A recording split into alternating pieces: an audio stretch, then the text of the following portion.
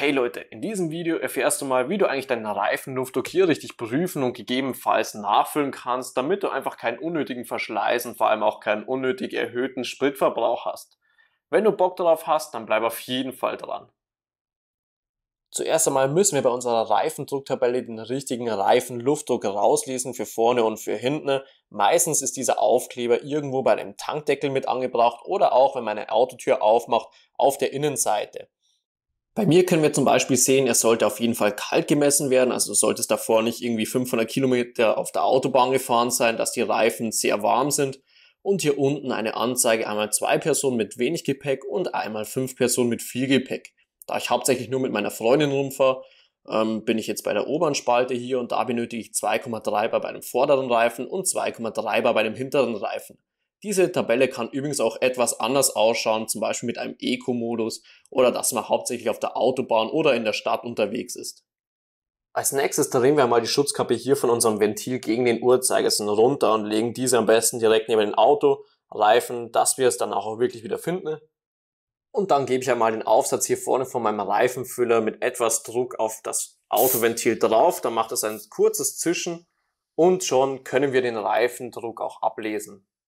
In meinem Fall hätte der Reifen jetzt einen Luftdruck von 2,3 Bar, also wirklich perfekt, so wie es auch sein sollte. Doch ich zeige dir auch einmal, wie man noch etwas Luft bzw. etwas Druck ablassen kann und natürlich auch, wie man den Reifen richtig nachfüllen kann. Um den Druck zu verringern, haben wir hier so ein schwarzes Ventil bei unserem Luftfüller dort. Und wenn ich hier jetzt etwas drauf drücke, dann können wir hoffentlich auch sehen, dass der Druck etwas sinkt. Also mit leichten Pressen können wir immer den Druck schön reguliert schön gezielt ablassen. Das mache ich jetzt einfach mal ein bisschen. Und dann füllen wir diesen natürlich auch wieder auf unseren richtigen Wert, da ich jetzt bei etwa 2 Bar angelangt bin. Zum Nachfüllen habe ich hier vorne einen kleinen Hebel, das ist so ähnlich wie eine Pistole und dadurch geht jetzt auch Luft schön rein. Ich mache das auch mal so leicht, so stückchenweise und dadurch kann man es auch schön kontrolliert auf 2,3 Bar bringen, so wie es bei mir jetzt auch schon wieder der Fall ist. Und wenn es natürlich wieder etwas zu hoch ist, hier außen den Knopf betätigen, bis man bei seinem gewünschten Wert angekommen ist.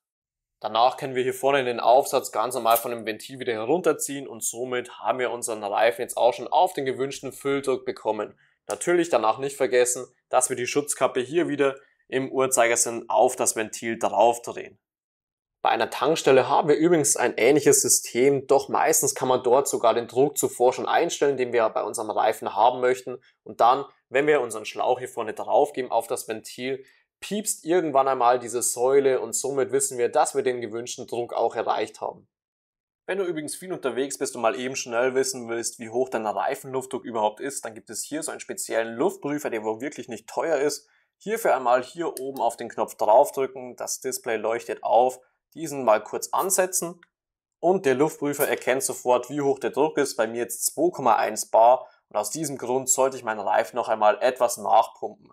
Und somit haben wir auch schon den Luftdruck von unserem Reifen richtig geprüft und natürlich auch dementsprechend richtig nachgefüllt. Wenn du zum Überprüfen und vor allem auch zum Nachfüllen von deinem Reifen hier nicht jedes Mal extra zur Tankstelle fahren willst, dann kann ich dir so einen Reifenfüller und einen Kompressor für zu Hause wirklich nur ans Herz legen. Denn den kann man wirklich immer mal wieder gebrauchen. Wenn du dir für zu Hause also so einen Luftdruckprüfer, einen Reifenfüller oder auch einen Kompressor zulegen möchtest, dann kann ich dir hierfür wirklich nur Amazon empfehlen. Hier hast du nämlich eine sehr hohe Qualität von Markenherstellern zu einem relativ günstigen Preis und das Beste hierbei, das Ganze wird direkt zu dir nach Hause geliefert und du musst nicht extra in ein Fachgeschäft hierfür fahren. Wenn du dir also eins von diesen Utensilien hier zulegen möchtest, dann einfach mal hier unten drunter in der Videobeschreibung auf den entsprechenden Link klicken und du kommst direkt zu Amazon.